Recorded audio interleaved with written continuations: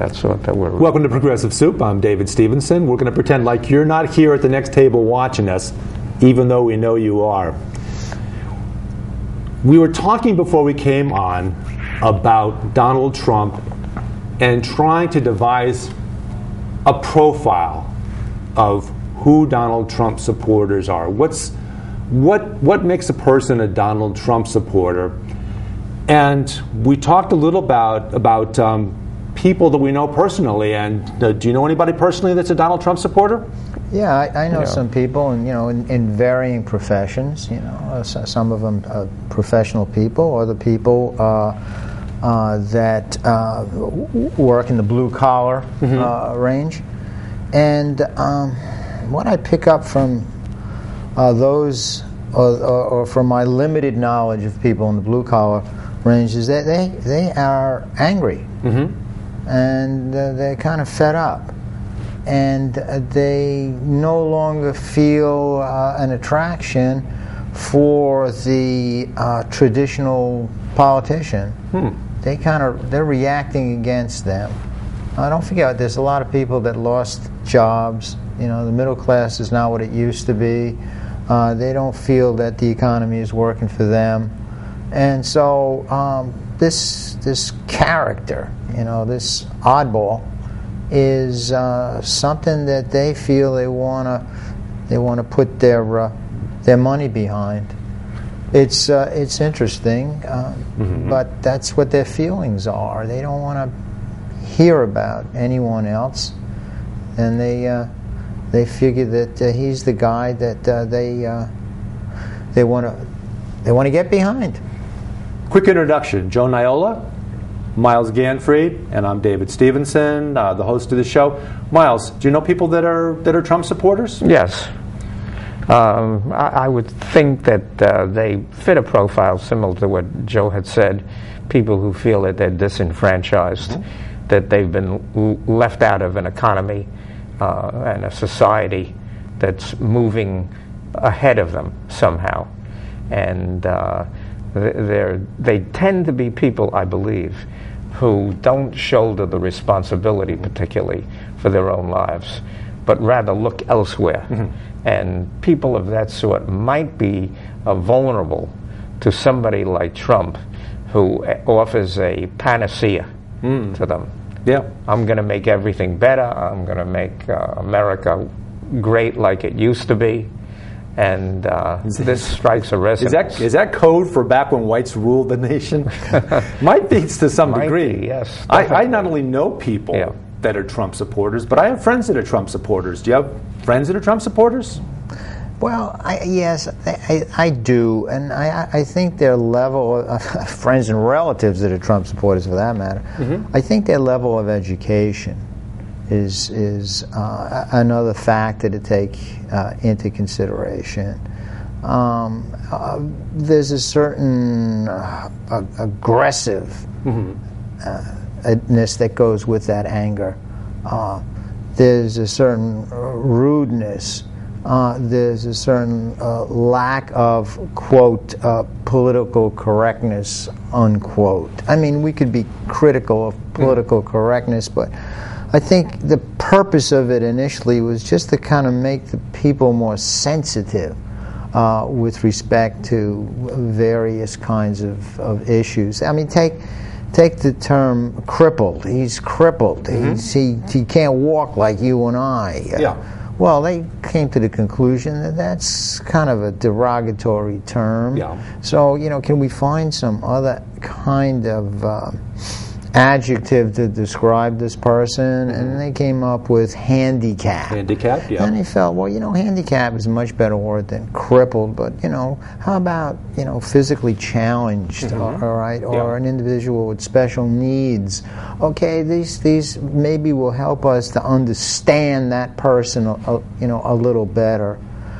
But the anger is so intense that it doesn't, it doesn't feel uh, the need for any kind of sensitivity, and it just reacts. Uh, there was an incident at one of the Trump uh, rallies where uh, an individual that expressed opinions that were different than those of the uh, of the Trump campaign on his way out. He was literally assaulted, pounced upon, and then he was the one that was evicted. I mean, it's it's not at all. Then there was a case where a, an individual uh, that um, was um, uh, uh, an individual that had special needs, you know, an individual that uh, had to deal with uh, some kind of palsy that was also a uh, a TV uh, commentator. Yeah. And uh, he was he was disrespected, I, maybe maybe so far as to actually Trump actually mocked him. mocked him, mocked him, and and it it, went. Uh, it, it it was like water off a duck's back when it came to the Trump supporters. They didn't find that problematic at all. If Trump uh, says something that uh, is um, uh, abusive to women or to minorities, uh, they don't care. You know, my, my hope is that this segment of our society is is not in any way uh, reflective of the majority. I was uh, I was I was kind of gratified when Barack Obama had won the presidency back in 2008. Yeah. I thought, well, wait a minute, maybe bigotry and uh, racial prejudice is definitely on the wane. Maybe the the society as a whole has uh, has really become enlightened. Yeah, really But at the like same time, in the strike back of my mind, in the back of my mind, I'm thinking, well, you know, maybe they only elected him or voted for him because their uh, their economic situation just happened to trump their bigotry Yeah. you know. So now we- we're seeing a different scenario, uh, and this leads me to wonder, you know, what is the American society really made of? And then I think about what creates the uh, society, what influences the society. And, um, and, and believe it or not, I think this, well, it, your parents, but in a lot of cases, parents aren't able to spend as much time with their children as they used to because both of them are in the workforce. Mm-hmm. So if both of them are in the workforce and the TV is on, Yeah. then their identity is being defined by the culture. And, and the culture at the current, current time doesn't really particularly care about proper childhood identification, proper uh, childhood mental health. They don't care about that. They only really care about how much uh, they can uh, make financially uh, f- through the media. So when a young child is finding himself in front of uh, too much violent violence in their cartoons, which isn't as bad as the violence that they see in certain action movies. And it's not a question of an individual getting shot and then holding their chest like they did in the 50s, the old B westerns. Now you're getting blood flying all over the place. You not only get violence, you get gore. Graphic Uh, violence. you know, this is this this is not a healthy way to to culture uh, a, a society. I mean, we, we have to look at what, what's going on. Uh, and it looks like we can't do anything about it since the system is rigged, since the money is there, Yeah. and since the money is uh, is is is, uh, is is doing its greed thing, and it doesn't it doesn't care, it doesn't care. And then what happens is, as these individuals uh, grow, uh, and and and their their culture has been so defined, uh, their ability to uh, restrain hatred, their socialization so severely impaired uh, that they will purchase firearms and they will do horrendous violence to their fellow man. So, uh, when you t- talk about mental health, it's it's it's a deep-rooted problem in the society. Was Archie Bunker the first bigot that we have the opportunity and the uh, pleasure or displeasure, as the case may be, to see on television? Was that the first show where where we got an opportunity to see people that just basically said what was on their mind and didn't mind Wow. insulting other people? There was a humorous, satiric quality to that show. Which was All right. I, I missed That- that. Um, All in the Family. All in the Oh, yeah, Archie yeah. Bunker. Yeah, there was a satiric. But you know, I, had, I would say that Yeah. this um, uh, situation that Joe is alluding to, that there is all of a sudden violence, I think that's fundamentally erroneous. You know, if you go back to the time um, of John Brown, for example, right? John Brown massacred people. He literally just about slit their throats and cut their heads off and whatnot. All right? Hmm. He felt he had a cause, right? And there may have been a parcel of validity to that cause, but he was a radical, and there have been radicals throughout. Uh, now, I think the available the availability of assault rifles has exacerbated that. It's made it much more graphic than it ever was. A person wielding uh, a single-shot flintlock rifle uh, is really nothing compared to one of these AR-15s. You know, let alone somebody with a knife or a sword or whatever. So it seems that perhaps uh, these um, misfits have maybe always been there. And it doesn't have anything particularly to do maybe with our modern culture. It's just that their firepower has been tremendously uh, raised. They can do a lot more damage. I mean, oh, yeah. in, uh, in, in minutes. Yeah, in Newtown, Yeah. the killer was able to kill 26 teachers and students in less than three minutes There you go. Without really a lot of skill. You, do, you don't have to have a lot of skill Mm-hmm. Right. when you're wielding a weapon that fires repeatedly by pulling the trigger and just Right. holding it down. Yes. You can spray bullets. I would into a imagine crowd. hundreds of rounds a minute. Yeah, You know. that the, and and as, as disgusting as it, it sounds, it, it needs to be said. I think that Yeah. that every every one of the victims in Sandy Hook School had a minimum of three bullet holes in them.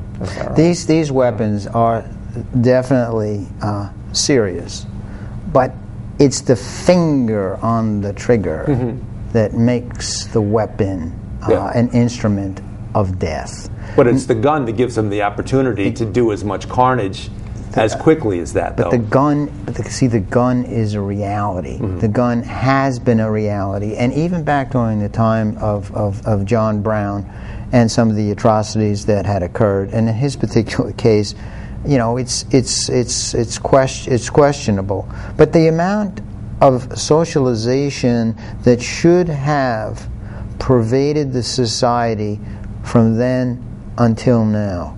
Uh, the ability that we have to influence people and their behavior is so much greater now than it was then. So uh, Is that a good thing or a bad thing, or, that's or that's both? the, that that could be an instrument uh, that would work uh, in favor of enlightening the society, Mm-hmm. or if it's used for purposes other than that, it could help to further reduce. Uh, the uh, society to, to people that simply respond uh, and are stimulated and respond to uh, the, the their coarser coarser nature. Religion, religion could be a, uh, a force of, of, of good. Religion uh, could be understood as an acceptable belief system that would help uh, people uh, to socialize and integrate more favorably in a society. And it also, okay, could be used to force the hate, to force the alienation, to foster xenophobia. Okay, it all depends on uh, how these uh, tools are utilized, whether they be material tools like guns or they be uh, immaterial, intangible things like uh, belief systems, um, attitudes, Yeah. Well, Well, it's, it's it's it's fair to say that we've seen you know we've seen both the good and the bad, as you say, that religion can do. It can certainly you know the belief system of our three major world religions is all based on very good things. they are. But occasionally, but occasionally you get you get somebody that, that uses, and this this is true of, of all the major religions, and also people sometimes that are not religious will find a way to um, justify doing some pretty horrible things in the name of what they believe in. Do you All feel that in a way, for example, we're talking about religion, but sometimes religion uh, gains its power from empowering people. People come to believe that a religious leader, um, a religious figure, or a minister, or priest, or whatever it may be, rabbi, has himself or herself a connection to some great power. And they represent that Yeah, they represent the power. Sort of a messianic kind of kind Yes, of attitude, absolutely, attitude yes. that, that we've seen that, Yes. that some people have had. Now, that can be true of a politician, right? Yeah. And we've seen that in this country going back, way back. Well, uh, not terribly far back was Huey Long, right? The kingfish, yep. Yeah, the kingfish, absolutely. And he was a person who was going to, I guess, put a chicken in every pot and, and make everybody happy and make everything good as long as you gave all the power to Huey Long. And that Right. was the great state of uh, Louisiana. Yeah, exactly, yes. Uh, unfortunately for Huey, but good for us, somebody Yeah. actually bumped him off. Yeah. Yeah. um, but Six, if sic we- semper tyrannis, which is what John Booth yelled as he jumped off the stage, even thus to tyrants after he shot Lincoln. Exactly. Who he saw in his mind's eye was um, was was somebody that was uh, dicta- dictatorial. yeah, treading on, on his rights. Mm-hmm. Yeah, and the rights of others. Yeah, the terrorist and the uh, and the patriot. It, Yeah. it depends on what side of the uh, fence you're uh, Yeah. you- you're talking about. But of course, there's no excuse for the violence. No, but with the rise of the demagogue, Yeah. you know, whether it be a religious demagogue Right. or a political demagogue, you know, in in in a religious context, if you have a, if you have a, a religious leader akin to a demagogue, then it's called a cult. I mean, what is it called when you have a po- politician, you know, whose uh, whose actions uh, reflect uh, uh, demagoguery? Ah, interesting question. Is there a difference? And and if there is not a difference, why do we not apply the same standards Yeah. to political people that are demagogic and uh, cult leaders that are that are demagogues? Well, I think we've used the term populist, right? And that's valid. Yeah, right? yeah. Um, Doesn't have a de- this doesn't have the same negative person- connotation. A person who perhaps Uh, has a way of different, yeah. Mm-hmm. tapping into the pent-up emotion. yeah. And I think that uh, it's fair to say that Donald Trump is one of those people. And that's why I think a lot of people are becoming a little bit fearful about what he could potentially morph into. Right? And there is a possibility, since he seems to rail uh, against uh, the, the Congress, saying, if I'm elected, give me the power, and I'll make everything great again. And so what he's doing is he's beginning to claw at our separation of states, of, of uh, power. He's clawing at that, and he's clawing at our Constitution.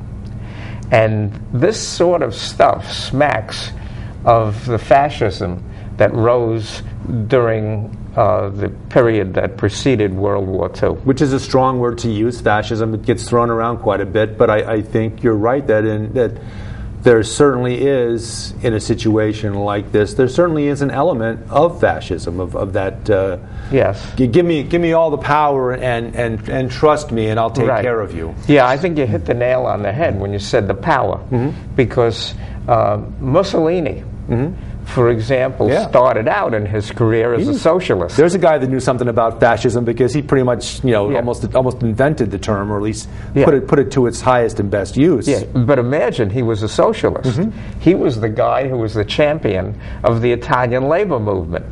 and then he turned around Yep. and he became a fascist.